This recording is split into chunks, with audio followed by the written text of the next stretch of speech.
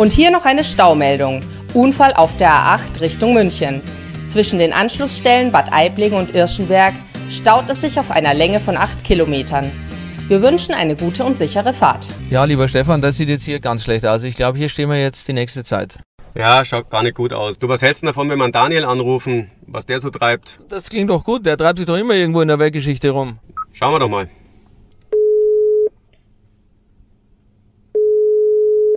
Stefan, du bist schon wieder. Ich grüße dich. Ja, servus, Daniel. Ich bin wieder unterwegs mit dem Reinhold und du hörst dich an, wie wenn du auch in dem Auto wärst. Ach, hör auf, du. Ja, es ist wirklich heftig gerade wieder. Überall Staus und ich stehe schon wieder hier in äh, Pforzheim, das ist echt immer das Gleiche. Aber wir müssen halt auch immer unterwegs sein. Und wie schaffst du das dann, dass du tatsächlich auch noch deine Inhalte sozusagen auf Papier bringst? Gute Frage, aber Gott sei Dank gibt es ja heutzutage äh, diese ganzen digitalen Möglichkeiten, dass du einfach irgendwo den Laptop aufklappst und ähm, dann weiterarbeiten kannst. Das heißt Kreativität auf Knopfdruck, Respekt. Äh, steht ja ein ganz wichtiges äh, Jubiläum eigentlich an in diesem Jahr, Daniel, ne? Obwohl man es dir gar nicht ansieht, Daniel, also Respekt. Ja, ja, ihr habt es genau erfasst. 75 Jahre Glaswelt. Nein, es sieht man, man sieht es uns hoffentlich nicht an. Und wir sind auch hoffentlich nicht so verstaubt, ähm, wie, wie man mit 75 vielleicht sein könnte. Wie muss denn eine Zeitschrift im Jahr 2023 aussehen, um weiterhin das Informationsbedürfnis der Branche stillen zu können? Äh, super Frage und äh, ich würde mal sagen, es gibt zwei Aspekte. Es, zum einen ist es das Team und da bin ich total happy und glücklich, dass wir wirklich so ein, so ein tolles Team haben mit dem Olaf Vögele im Bereich Sonnenschutz, mit dem Matthias Rehberger für das Thema Glas und ähm, ja, und ich kümmere mich eben um die Bauelemente, um die Fenster und die Türen. Das ist das eine, du brauchst halt Experten, aber was halt bei einer Fachzeitschrift ich meine, wir sagen immer noch Fachzeitschrift, aber es ist halt mittlerweile eben ein, ein, eine, ein Fachmedium und da kommt es eben auf den Medienmix an. Ja? Es reicht eben nicht mehr, nur eine gedruckte Ausgabe äh, herauszubringen, aber du musst genauso gut auch die ganze andere Klaviatur spielen. Ja, das ist äh, eben auch dieser Online-Bereich. Den musst du, du musst quasi ähm, online sofort da sein. Du musst, wenn irgendwas passiert, musst du auch eine Online-Meldung bringen und dann nicht nur diese online platzieren, sondern eben auch in den Sozi sozialen Netzen anstoßen, kommentieren. Außerdem, ähm, was dann noch wichtig und immer wichtiger wird, ich stelle es fest, das ist eben das Bewegtbild. Und ähm, dann kommst du wieder ins Spiel, Reinhold. Ne? Da hast du ja auch einiges dazu beigetragen bisher. Ja, ich fand's toll. Äh, insbesondere, äh, dass wir die Themen Video und eure Reichweite zusammenbringen konnten rund um die äh, Messe Bau in München. Ich glaube, das war, äh, war ein, ein, ein, schöne, ein schönes Debüt.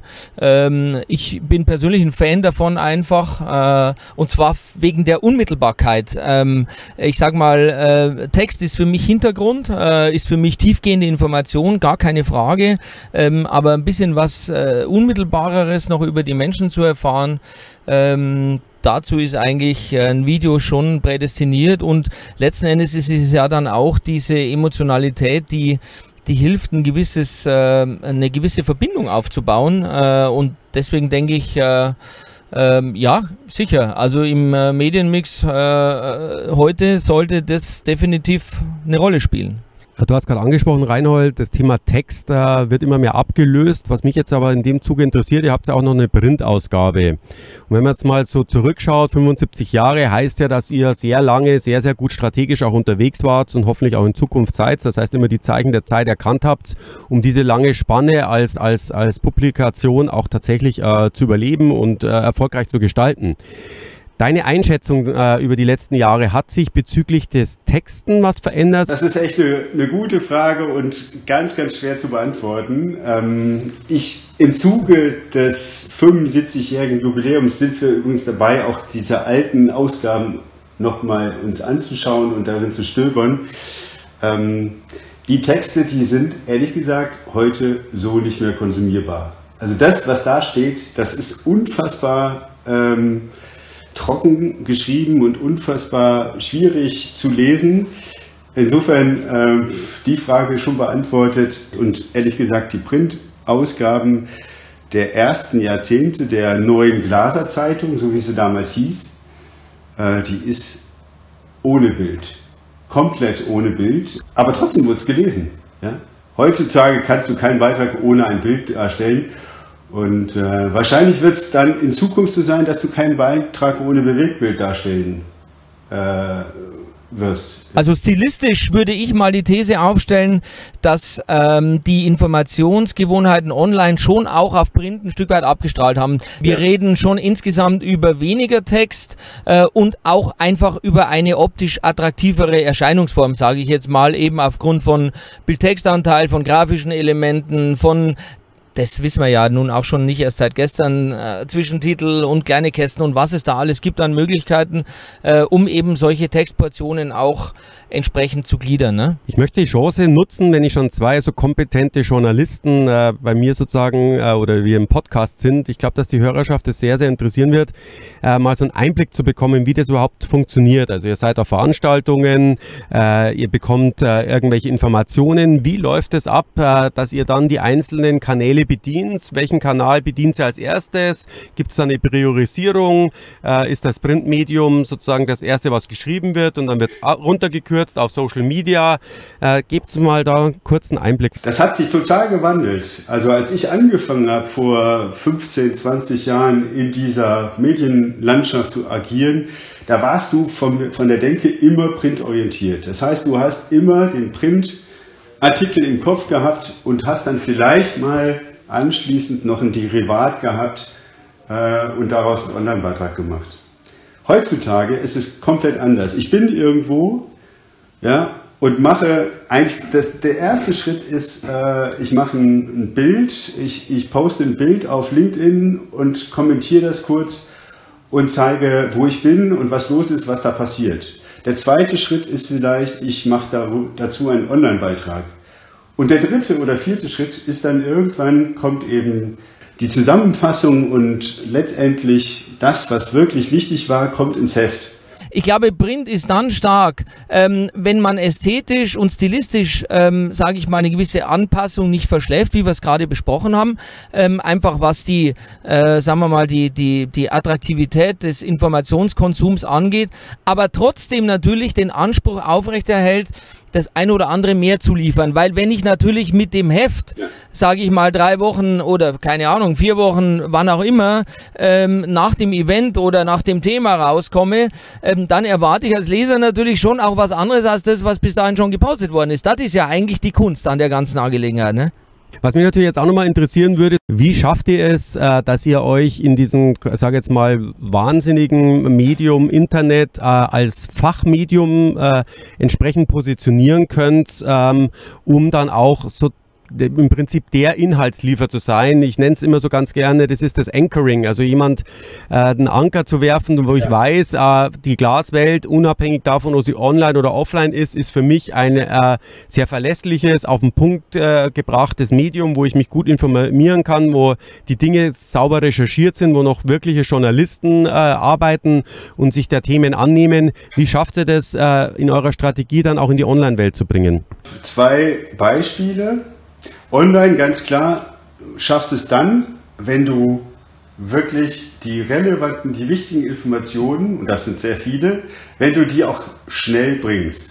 Ja, das heißt, ähm, wenn du ein, jetzt letzte Woche war ich eben auf einer Veranstaltung, gleichzeitig kam online der Hinweis, die Bau verkürzt äh, ihre Messeagenda. Am besten ist, diese Meldung kurz zu bringen, schnell zu bringen. Ähm, da musst du nicht viel darüber erzählen, aber das ist eine in interessante Meldung für Aussteller und Besucher auch. Ja, das, das war der Punkt. Ganz schnell habe ich das eben während der Veranstaltung schnell online gestellt.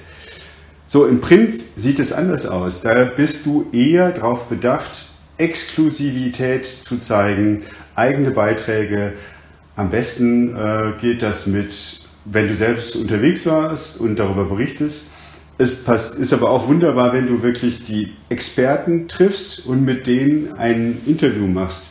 Ja, wenn du wirklich dann die Stories eins sammelst, die die Experten, die Unternehmer, die die äh, ja, die, unsere Branchenakteure ähm, zu berichten haben. Darf ich noch eine Frage stellen als Journalist, weil mich das interessiert? Würdest du denn Gerne. sagen, dass es auch Aufgabe eurer Glaswelt und auch von dir als Chefredakteur ist, ähm, auch gewisse Themen, wenn du das Gefühl hast, ja, da habe ich einen guten Überblick, da kenne ich die Hintergründe, diese auch selbst mal einzuordnen? Äh, danke, Reinhold, für, diesen, für diese Frage, weil das ist ein total wichtiger Aspekt äh, einer Fachzeitschrift. Ja, es reicht eben nicht nur Branchenspiegel zu sein, sondern du musst ja auch Branchen du musst ja auch Themen treiben. Du musst auch Themen sehen und, und denken, okay, das, das ist ein Thema, was sich entwickeln wird. Da wird noch ganz viel passieren. Wir haben beispielsweise in der Vergangenheit, waren wir einer der ersten oder eigentlich die, die Redaktion, die das Glaskleben, das Fensterkleben ähm, sehr früh ja, mit begleitet haben und auch gesagt haben, das ist ein wichtiger Trend. Da haben wir auf der Messe ähm, gleich so eine Klebestraße, so eine virtuelle Klebestraße organi äh, organisiert. Wir haben Sonderhefte dazu gemacht. Also wir haben das Thema sehr stark besetzt und ähm, damit war dann auch für alle Player klar, ähm, Glaskleben die relevanten Dinge stehen in der Glaswelt. Was mich jetzt nochmal interessieren würde, einen Blick in die Zukunft zu wagen der Glaswelt. Äh, und äh, das muss jetzt nicht 75 Jahre nochmal in die Zukunft sein, das wäre, glaube ich, ziemliches Orakeln. Aber einfach mal so kurz mit deinen Worten wiedergeben, was habt ihr denn so im Köcher? Was können denn äh, eure Leser, eure User, wie man sie auch immer bezeichnen möchte, eure die Glaswelt-Fans sozusagen in der Zukunft denn von euch als Redaktion und als Team erwarten und was habt ihr da so vor? Das ist immer ganz schwierig, so tatsächlich auch in die Zukunft zu gucken, was den Medien, äh, was den Medienmix angeht. Aber wenn ich einfach sehe, weil ich vor, vor 23 Jahren habe ich äh, gestartet in der Branche, bin ich gestartet. Und da haben wir wirklich uns so, so stark fokussiert auf äh, ein Printprodukt. Und ich, wenn ich jetzt sehe, was, was jetzt passiert, dann weiß ich, wir haben uns so, so viel weiterentwickelt. Wir haben so viel Produkte dazu entwickelt, ähm, Veranstaltungen, die, rein digitale Veranstaltungen, die wir aus, ein, aus einem Studio hinaussenden und die Unternehmen können sich einbuchen und können dazu ähm, wirklich was, was liefern. Und wir senden daraus und, und sammeln Teilnehmer in, in Größenordnung von 800, 900 äh, Personen ein. Darauf wird es hinauslaufen, ja, dass wir eben viel, viel mehr Produkte rund um die Medienmarke äh, entwickeln werden. Und das zeichnet uns, glaube ich, als Glaswelt auch aus, dass wir die, äh, die, das Medienhaus oder die Medienmarke sind, die auch tatsächlich ganz, ganz viel ausprobieren. Unser Newsletter, der, der, den haben wir angefangen einmal im Monat, der wird jetzt wöchentlich ausgesendet. Also es gibt, äh, ich kann wirklich gar, da reihenweise erzählen, ähm, mir wird um die Arbeit und um die Zukunft nicht bang. Was ich noch ergänzen wollte, die Glaswelt äh, Jubiläumsausgabe hat natürlich auch einen historischen Teil, wo wir zurückblicken äh, auf 75 Jahre Fenster, Glas und Sonnenschutzthemen. Und auch da darf ich sagen, dass der Reinhold da einen großen Anteil dazu beigetragen hat und er hat ja für uns ganz toll ähm, in den Archiven gekramt. Reinhold, eine Frage an dich, jetzt von meiner Stelle aus. Ähm, du hast ja eben diesen 75 Jahren Hintergrund auch noch präsent. Äh, Gibt es irgendwas, was für dich so ein besonderes Ereignis war oder eine besondere Innovation?